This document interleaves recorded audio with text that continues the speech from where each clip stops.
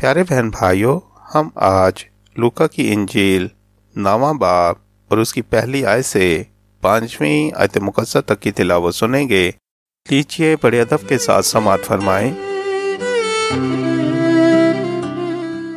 फिर उसने उन बारह को बुलाकर उन्हें सब बदरूहों पर इख्तियार बख्शा और बीमारियों को दूर करने की कुदरत दी और उन्हें खुदा की बादशाही की मुनादी करने और बीमारों को अच्छा करने के लिए भेजा। और उनसे कहा कि राह के लिए कुछ न लेना, न लाठी, न झोली, न रोटी, न रुपया, न दो दो कुर्ते रखना। और जिस घर में दाखिल हो वहीं रहना और वहीं से रवाना होना।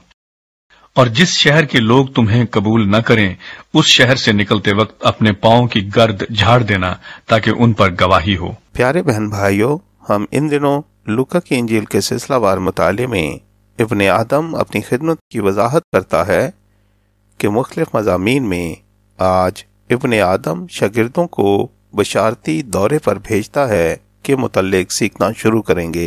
प्यारे बहन भाइयों, ये मत्ती दसवें बाब की पहली आयत से पंद्रहवीं आयत में दर्ज वाक़े से मुशावत रखता है, जहाँ यस्सु ने बारह शागिर्दों को बशारत के लिए भेजा था, मगर कुछ काबिल गौर फ़र्क भी हैं। मसलन मत्ती के मुताबिक शागिर्दों से कहा गया था कि सिर्फ़ यहूदियों के पास जाएँ और बीमारियों को दूर करने के साथ साथ मुर्दों को भी ज़िंदा करें। प्यारे बहन भाइयों, लूका ने इख्तिसार से काम लिया है। इस इख्तिसार की कोई वजह ज़रूर है, लेकिन हम इस वजह को नहीं जानते। खुदावन न सिर्फ़ खुद मुआवजे करने की कुदरत और इख्तियार रखता था, बल्कि ये कुदरत और इख्तियार दूसरों को भी अता करता था। कुदरत का मतलब है ताकत या लियाकत और इख्तियार का मतलब है इसे इस्तेमाल करने का हक। शागिर्दों के पैगाम की तस्दीक निशानों और अजीब कामों से होती थी, जैसा कि इब्रानियों दूसरे बाप की तीसरी और चौथी आयत में भी मरकूम है। खसूसन इस वजह से कि उस वक्त तक पूरी बाइबल मुकद्दस तहरीरी शक्ल में मौजूद न थी।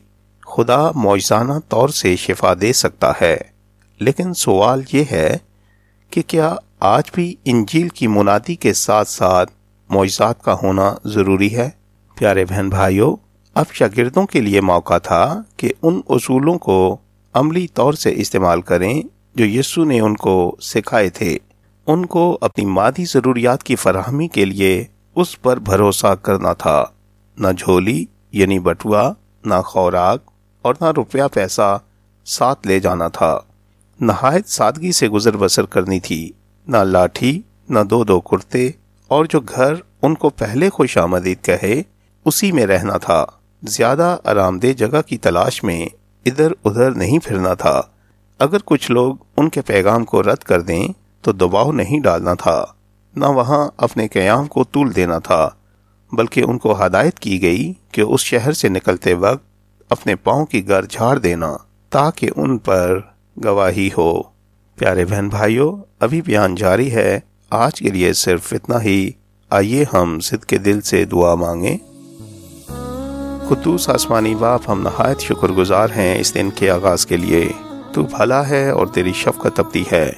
दिल से तेरा शुक्रिया अदा करते हैं और तेरी बेहद सलामती और बरकत मांगते हैं।